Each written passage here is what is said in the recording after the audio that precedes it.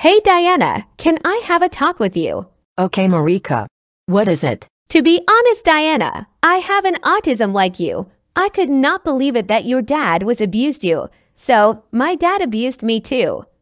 I cannot believe it we got our abused fathers that are Steve Hernandez and David Marandzel. Don't cry, Marika. I am here with you.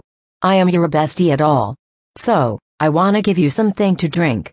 Would you like to have an orange juice? I guess you are right, Diana. Well, that juice makes me comfortable. But the way, Diana, I have a brother named Timur. Amazing. And I have a sister named Camilla. So, how do you feel now? I feel great. Now let's watch something on TV. Okay.